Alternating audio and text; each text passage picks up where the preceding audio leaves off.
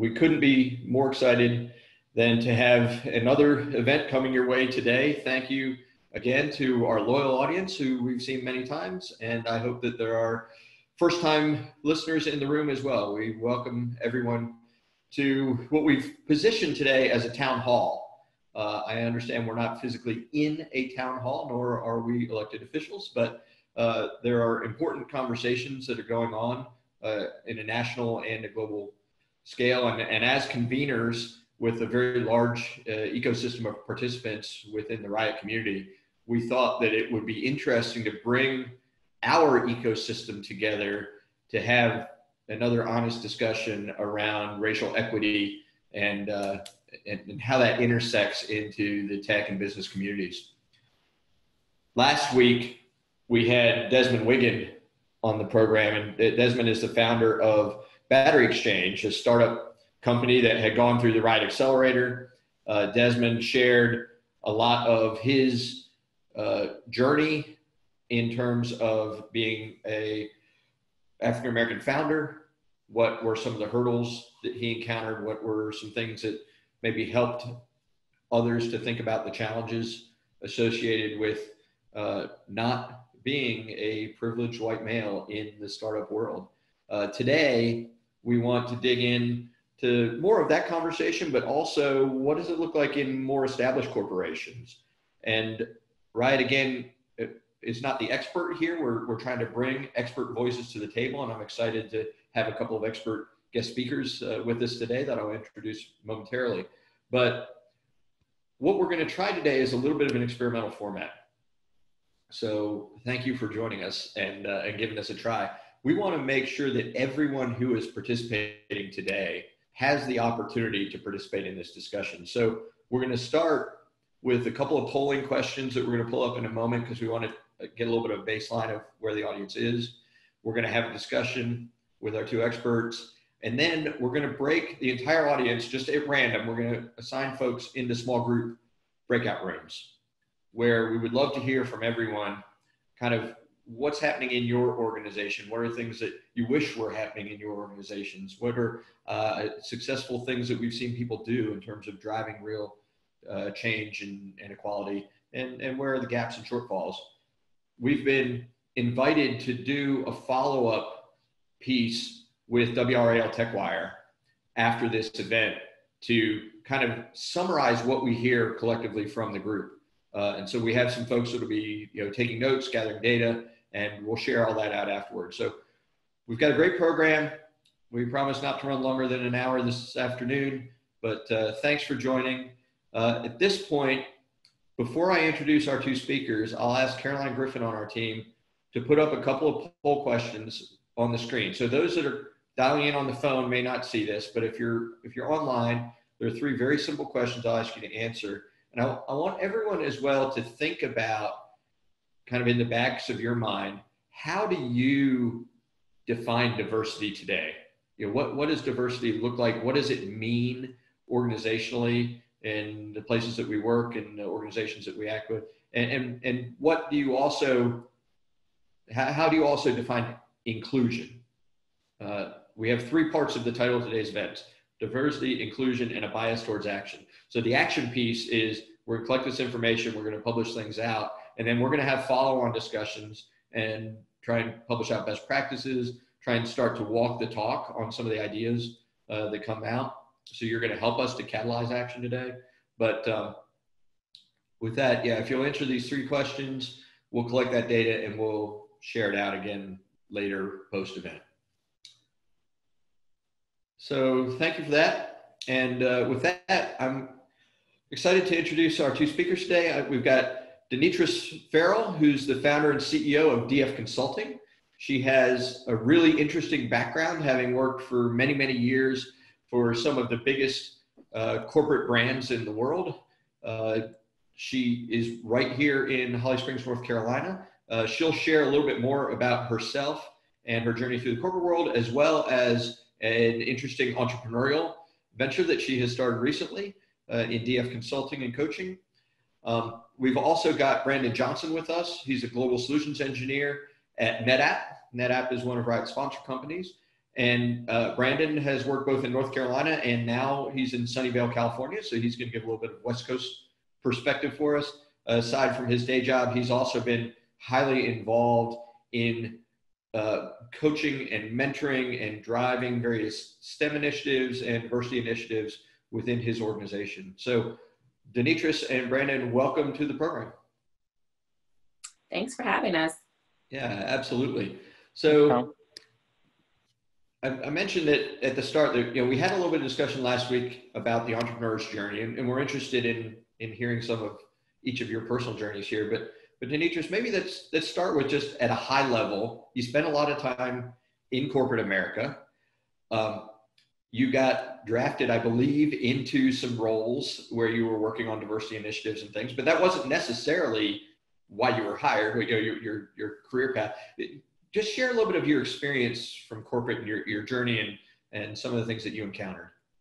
Yeah. Um, so, a couple of thoughts. One, from the company perspective, right? You think about corporate, everyone right now is releasing statements around their commitment to diversity, and that's commendable. Um, but what I experienced in corporate is that there is this bucket of diversity money, right, that we are using to recruit, we are using to uh, fund affinity groups um, to try to address the inclusion aspect. But there is a glaring gap when you think about equity. So when you think about diversity and inclusion, we sometimes forget that that E in the middle of there, that's equity. And so there's not a lot of uh, sustainable, tangible, measurable effort around making sure we get underrepresented minorities to equity. A lot of times, what I've seen is that we put diversity as one big bucket, right? And diversity by itself just means the presence of differences. So that means everybody has the potential to be diverse, right? You grew up in the suburbs. Okay, you're diverse if everyone else grew up in the city, right? So when you lump it all in this big bucket, you water down your impact and um, you also leave some folks out. You leave those who are in the most need out of the conversation. And so I think one thing that is an opportunity is to shift the focus from just diversity to explicitly looking at how do we create equity for those who have historically been underrepresented. Um, because from the employee side, right, if I switch gears and think about what it's like being a Black woman trying to navigate Fortune 5 and 100 companies, um, it's a challenge. There are hurdles at every at every turn and there are usually just a few who make it right? And those are the ones who are uh, perceived to be exceptional. But if you ask anyone who's made it they will tell you that there are seas of other exceptional people who look just like them who didn't have the chance. We often we often celebrate the rose that grows out of concrete, right? It's, oh my gosh, this rose grew out of concrete. This is amazing. Such a pretty rose, right? But we never talk about all those other seeds that didn't make it out of that concrete. And we never think about what if instead of that rose being in concrete, we put it in fertile soil and we gave it the right sunlight and nutrients? And then you wouldn't have this itty bitty pretty little rose. You'd have a huge rose bush that's gorgeous and blooming and and can feed um, and and create other rose bushes. And so that's what happens. We we when we have these um, the exceptional make it right? And we have all these barriers in corporate that folks have to navigate navigate through and some are able to but most aren't most aren't. It breaks up. I, I read a study um, a couple of days ago that said if you look at the percentage of African Americans or Black, depending on what you prefer, I prefer Black. So if you look at the percentage of Black folks who are in the country who go on to get a undergraduate degree, who go into corporate, if, if those percentages um, consist or persist once they enter corporate America, there should be 50 Black CEOs in the Fortune 500. Today, there are four, and they're all men. Yep. We yeah. got work to do. There's unquestionably work to do. I think it's interesting when you point out the equity argument that, um, yeah, the, the third word inclusion until there's true inclusion, there can't be equity because I believe equity means you know a seat at the table, part of decision making, you know, equal voice, and and uh, you know we need to include people uh, as a foundational layer before we can even hope to to achieve equity or or the kind of diversity we talk about when we're we're talking about in this discussion. Um, Brandon, you uh, work in a very large tech company. They've got a huge campus here in RTP, obviously, uh, same, same in California. Have you seen the, the same kind of challenges that, that Denitresse's just described in terms of there not being enough fertile soil for all the possible seeds in the company? If I can continue that. Absolutely. That's, yeah, absolutely. I think that's a good way of phrasing it. Um, you know, in tech in general, there's a there's a shortage of uh, minorities that are in tech. Um, there was a stat at a, at a conference recently at Afrotech, and it said that on average, uh, tech companies have are five percent black. So when you talk about equity, right, you you have a small, a very small pool of people that can even aspire to make it to that that C-suite. And then when they do get into companies, we don't necessarily have all the tools and things in place for them to go down an executive path. And I think, you know, as as corporations, especially right now, you're hearing a lot of companies discuss diversity, inclusion, and belonging. I think now's a good time for us to all look at, you know, our processes and figure out how do we start um, changing that pipeline a bit? How do we start to um, not only find these people, but also cultivate them, and so that there's multiple. And I, I agree that there's a lot of one-off situations, and that poses its challenges within itself, right? Because that person likely, let's say in the example, there's a few male CEOs um, that are uh, black. That person has to represent, you know, the entire black community. That's a lot of weight for anyone to bear. So I think we, as a as as as companies, both large and small, we have to do our due diligence and making sure we're giving everyone a fair chance. Whether you're uh, you're black, white, Latino, whether you're male female, whether you're gay, lesbian, transgender, um, you have to start looking at people and making sure your processes are promoting the type of behavior and culture that you want within these companies. Have you seen much difference between you know working in North Carolina on the East Coast and working on the West Coast? You know, this is a I, I know it's a national issue, but I'm I'm interested if there are geographic differences you've seen. I have seen a little bit of a difference. Um, I think it's largely uh, the demographic here. Um, in Silicon Valley, I would say there's at least from what I see, I'm in the San Jose area. Um, it's primarily uh, uh, white and uh, Latino here, and uh, like there's not many black people. Like I've I haven't seen a crowd of black people unless I've gone all the way up to Oakland, right? So um, California in general is very progressive, um, but in this area, because of the nature of the industry and tech, there's not as many minorities um, as I expected it to be. Um, you know, you have Google, Facebook, et cetera. They're all here, but it's still an overabundance of uh, other uh, other cultural groups, and I think that's just local to the demographic. Yeah. In terms of how um, I guess the Raleigh area RTP is different from here, I'd say the biggest difference for me was scale.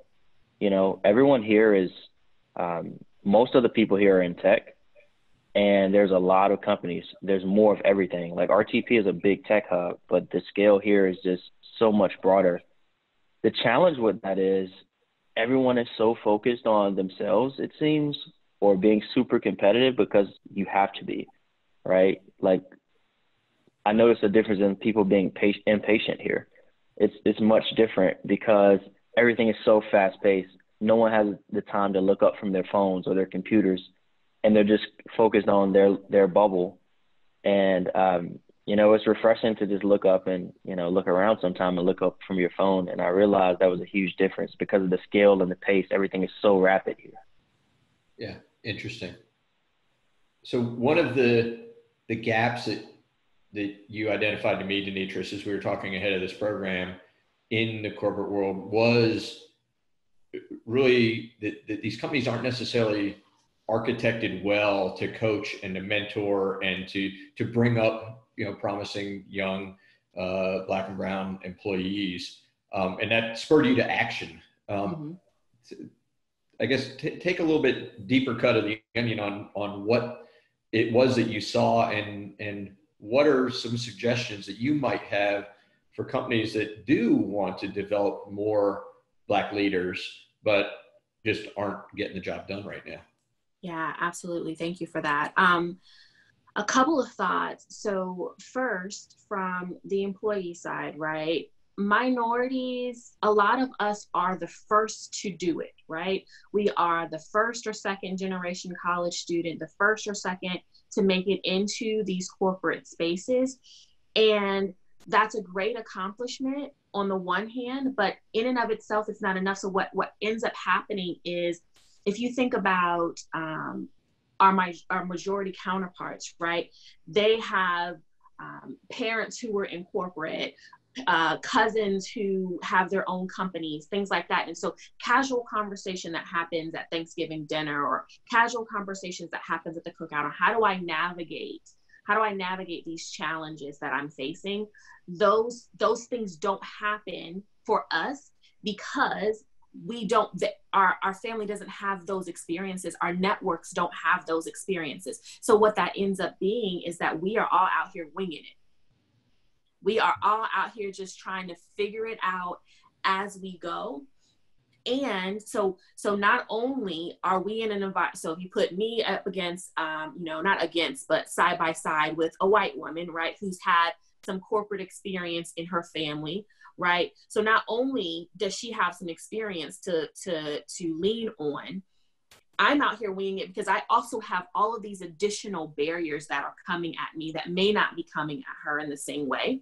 And so i think coaching has this this super powerful transformative um, way that you can one help those individuals who have not had that type of coaching before that that access before think about how do i navigate these things.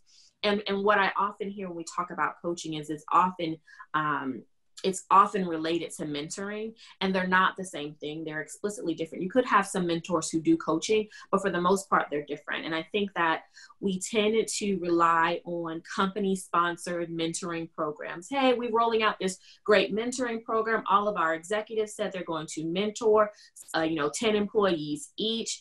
Um, but what happens is two things one the the leaders naturally gravitate to people who are like them like that's that's just the natural bias. So you naturally gravitate to people who are like you. And so you're naturally giving more of them. And then the other thing that happens is because it's company sponsored and because these are people in leadership position, the minorities who are in front of them are not fully able to be authentic. They're not, they're still trying to perform in these conversations.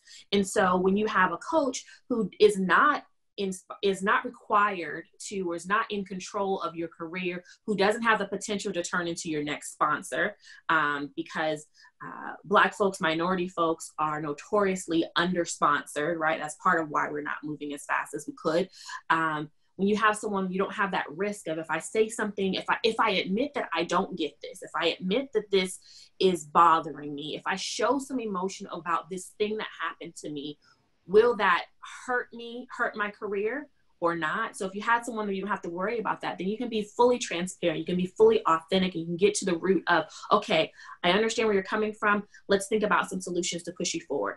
And that solves a piece of the problem, but not the whole problem, because the other piece of it is we've got to get into the companies to create processes that uh, that make it equitable for us. So I know we talked about inclusion a little bit before. Inclusion is like this band-aid almost right now, the way it's being done it's being done where okay we've got these affinity groups and we're doing some trainings here and there. We want you to feel like you are welcome here but you can't make me feel welcome unless you also like we can have a cookout and we can have a party. All that's cool. But until you also make sure that my salary is the same as my counterparts until you make sure that i'm being promoted at the same rate as my counterparts until you do that work then all of this is just noise. It's a band-aid. It's just something cool to say. It's something to make you feel like you're doing the right thing, but I don't feel included because we had a potluck and we celebrated Black History Month for at the whole company. Okay, cool. But look at this check. look at my title. Look at my counterparts' checks and titles and what's going on. There was a study that said um, uh, the, the Federal Reserve of Cleveland just released a study that said there's all these things that contribute to the wealth gap in, an America between races. But the primary thing, it's not home ownership, it's not stock investment. The primary contributor to the wealth gap is income inequality.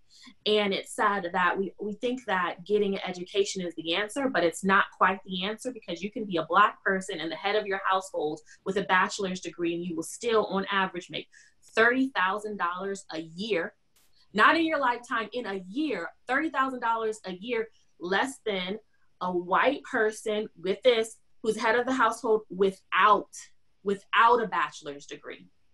Yeah.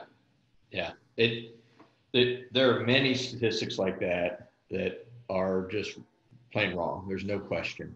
That that income equality piece we've talked about quite a bit and I think actually we need to talk about more, uh, and, and, maybe even that's a, topic we need to tackle as an entire episode. But uh, I think what that leads to is maybe the deeper rooted thing that I hear from you, which is, you know, really it's a power inequality. It's that inability to be the decision maker mm-hmm. at work or to have the signing authority to take actions or the autonomy to make decisions, those kind of things. Um, one thing that you said kind of rung true to me. A lot of what you said rung true, but you, you made a bunch of points. But one of them is that in terms of finding and, and having those advocates and allies within an organization to help you grow, those those mentors, those coaches, so on and so forth.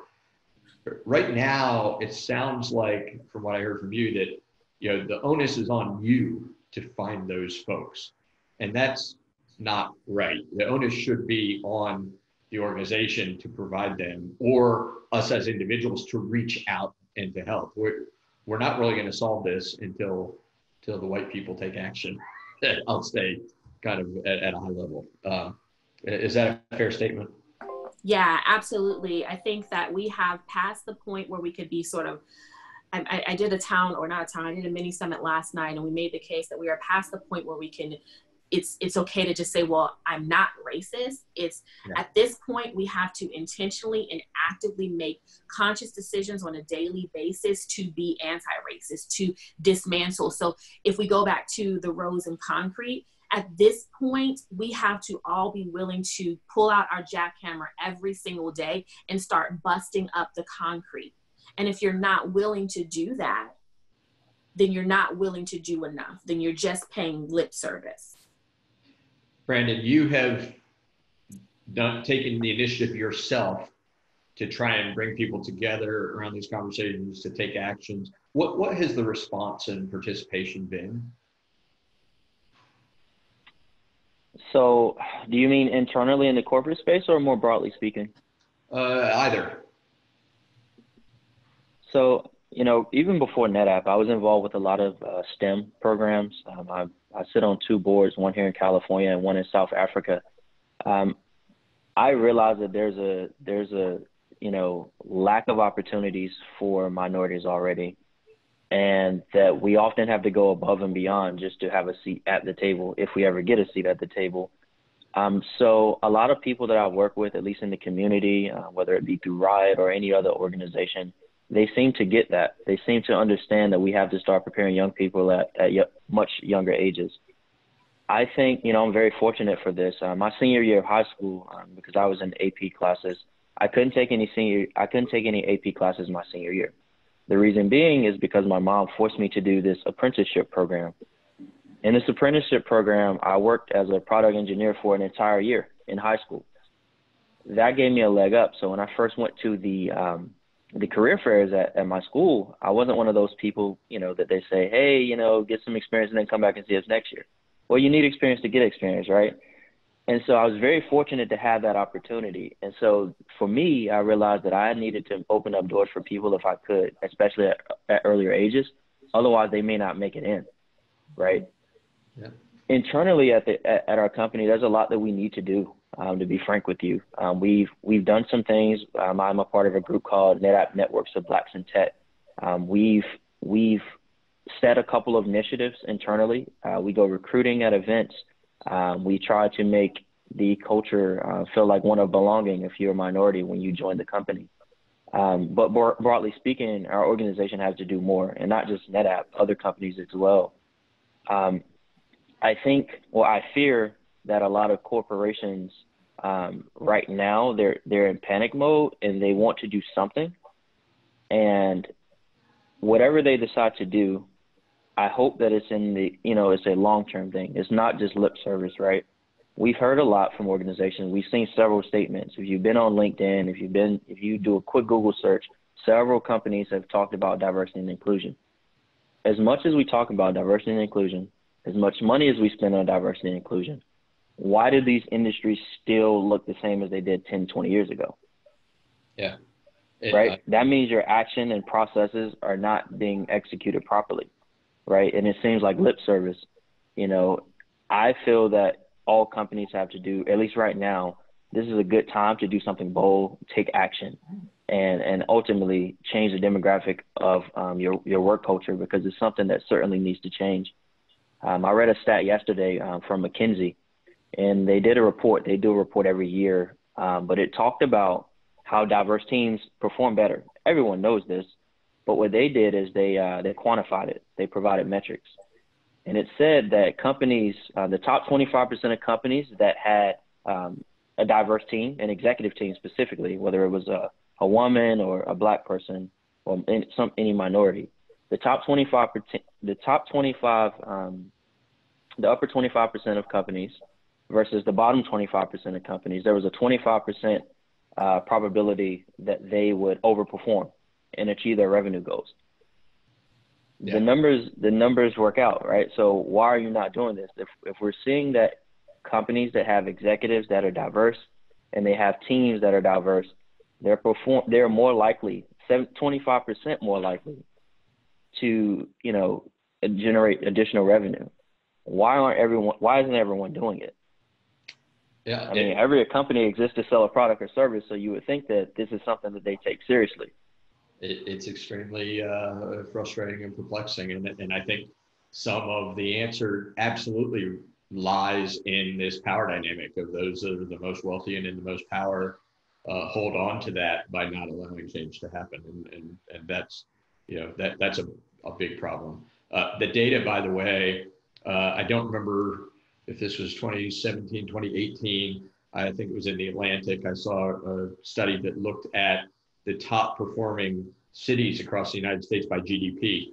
And the top 10 most economically successful cities mapped exactly to the top 10 highest percentage diversity cities in our nation. So even at a, a much larger scale in a company, uh, yeah, diversity is good for business. Uh, so that said, things aren't changing like they should. Uh, let me ask a final question of you, and then we'll we'll break into some breakout discussions. What are some specific actions that you have seen or you might suggest uh, for?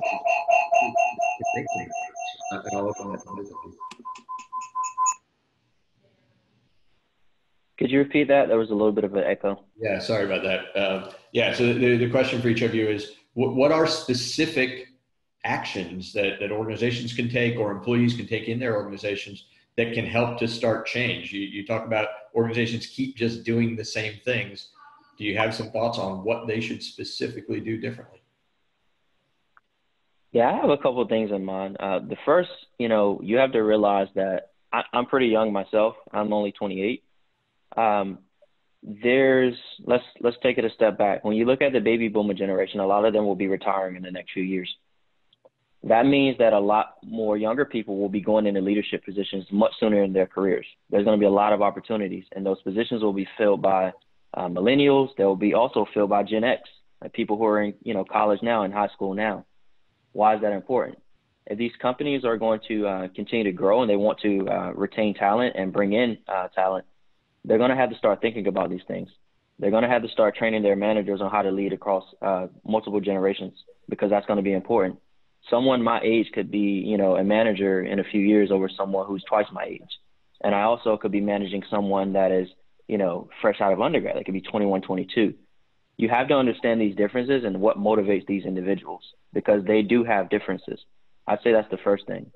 The second thing is, I would say, diver- spending more money and spending more time at not only HBCUs but uh, underrepresented communities. I don't think we do enough in those areas, right? I think we do enough just to hit the check boxes, but I think there's a lot of talent at these places, and oftentimes they had to work much harder than people. I went to a PWI, I went to NC State University. It certainly wasn't the only school that I could have gone to, um, but because I went to NC State, I too, I will get looked at more so than someone who may have gone to an HBCU. It doesn't make me smarter because I went to you know a public white institution, right? I think we have to do a better job of doing that and, and going out into these companies. I'm sorry, going out to these universities and recruiting. Because if you want diverse talent and we see a poster board and it has, you know, a few minorities, but when you join the company, no one looks like you, it seems like lip service. Yeah. And I would say the, the last thing is, um, you know, I, I can't harp on this enough. There is certainly a shortage of uh, managers that look like me, right? I think everyone who is a manager should be forced to go through training to understand the unconscious bias that they may have. These are the likely the gatekeepers in your company, right? We have CEOs, we have executives, but are they individually interviewing us? No, it's usually the people who have the hiring authority. And if those are the gatekeepers, and they represent a culture that is not in line with where the company wants to go to retain these these newer employees, then there's always going to be a disconnect. And so I, I think all companies need to have training specifically about um, their hiring practices. Um, you know, people may not even know how to interview. You may ask me one question and ask the same question a different way to someone else, and they may blunder. They may plunder their entire interview that's that that right there can't happen and i feel that that is happening at a lot of places and talking to some of my friends just their differences in the, their interviews yeah thank you for those ideas Denitresse anything you'd like to add yeah um you know i'm a little bit further along in my career than uh, brandon and so i agree recruiting is a gap and it's a need but i think that that's that is where a lot of organizations are putting their money. They're investing in building a pipeline, they're investing in trying to recruit more diverse talent for these entry level jobs. But what happens is that you get us in, you don't nurture, you don't develop, you don't promote, and so you then you don't retain. And so that's when you end up with a whole middle of managers who look nothing like the folks that they're managing right? You end up with this whole middle section who um, that's where that's where it drops off. That's where your your minority talent drops off and that's where everyone leaves. It's like buying this brand new energy efficient house you've got top of the line heating and ac but those darn kids keep leaving the the window cracked right and so all the money is going out the door. You're investing, you're investing, but it's turning over because another thing that's happening is this is not the same generation that there was before. Folks aren't staying at companies for 20 and 30 years, and we're not just happy to say we've got a job or we've got a good job, right?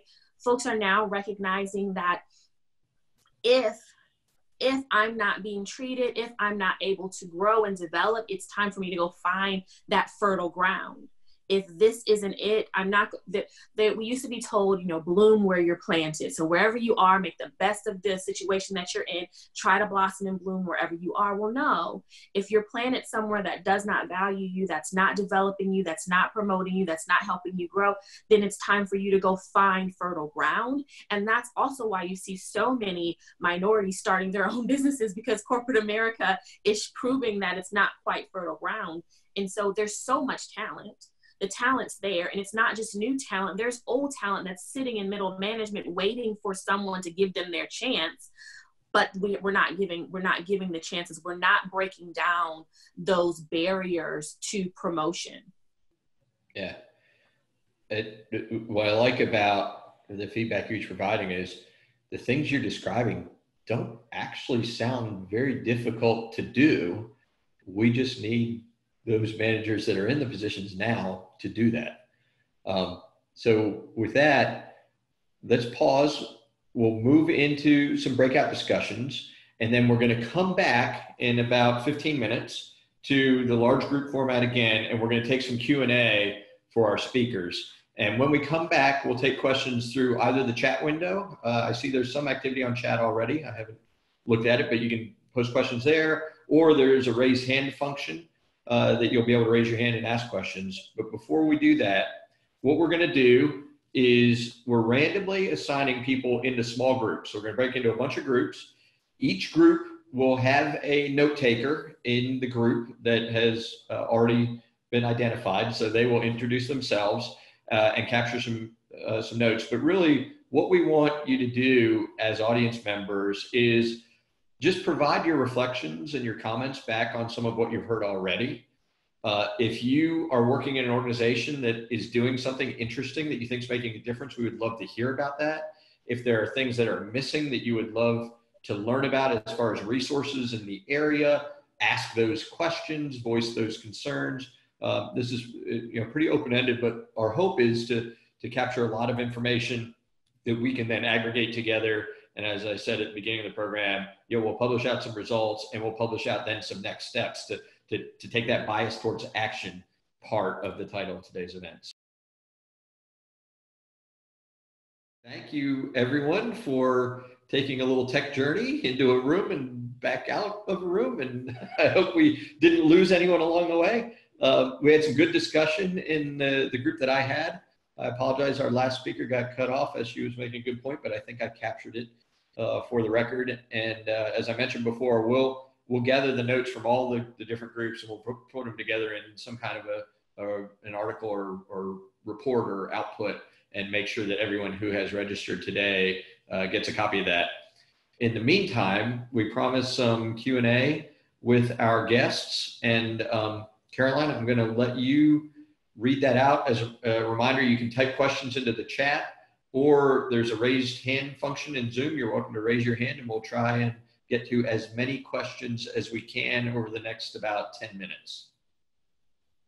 Or if you feel comfortable, simply just unmute yourself. most of these in the chat box are um, comments. Okay. And we're capturing the chat too. So uh, I know a number of folks have published like links to good articles and reading materials and things. We'll make sure to, to distribute those as well.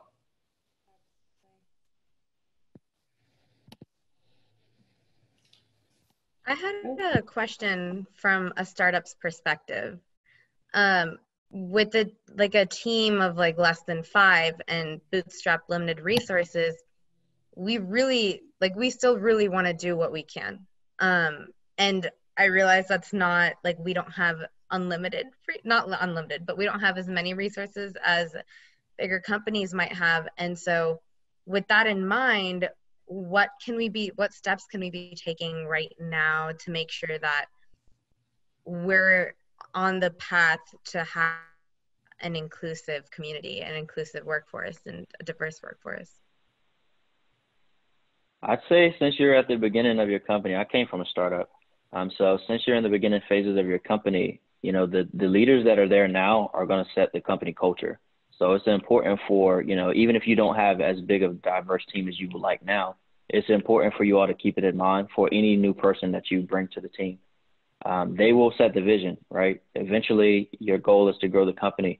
So if you're going to uh, focus in this space, I would recommend um, getting on a lot of the boards, like a lot of um, like like AngelList, for example, right? Just looking for people who are like-minded, people who care about your cause, and uh, making sure that when you are looking for you know different leaders on your team, make sure they represent the culture that you want the company to overall represent. You know, a year or two from now.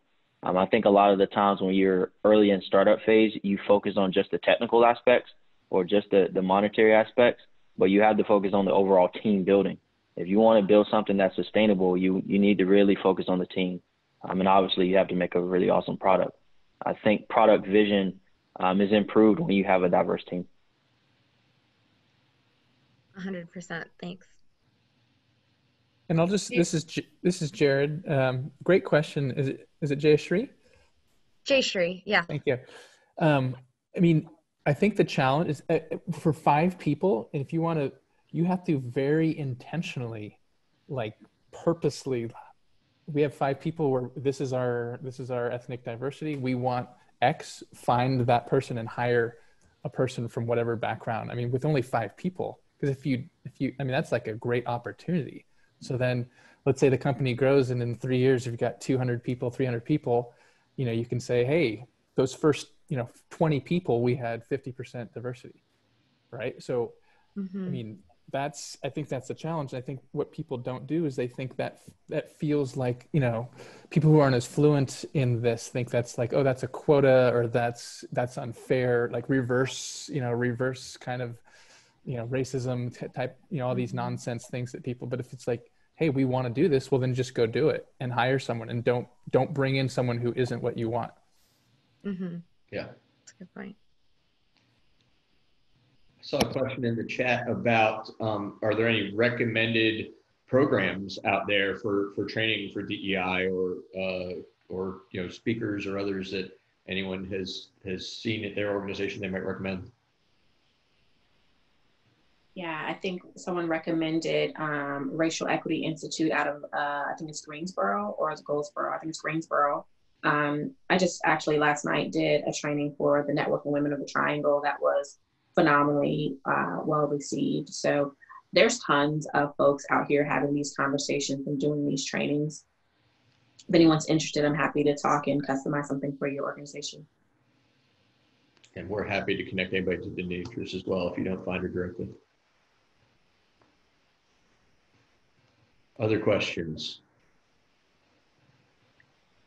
We had a uh, get we I was going to say real quick, there was a speaker at NC State. Some of you may have attended, uh, named Raven Solomon. She gave an awesome presentation. It wasn't focused on uh, diversity directly, but it talked about um, how to, you know, motivate teams and individuals. And it did talk a little bit about diversity.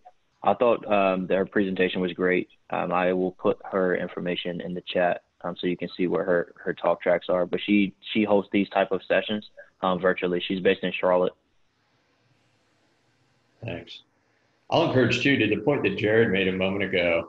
Even if you're in a large organization, if you're if you're in a position where you do hiring and firing, think about your small team as that five person startup or eight person startup, and you are in, in control of getting 50% or better diversity in your startup within your company. And uh, if enough you know middle managers just take that attitude and do it, the numbers trickle up.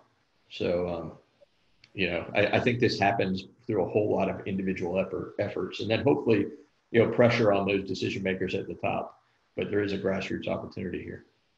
And to Tom's point as well, those those managers in sort of positions of power when it's review time and it's time to grant merit increases, you you have visibility of what everyone's making, right? You can try to level the playing field some. I know that, you know, with some of it is dictated from the top down, but you have the opportunity to try to make some things right there in that role.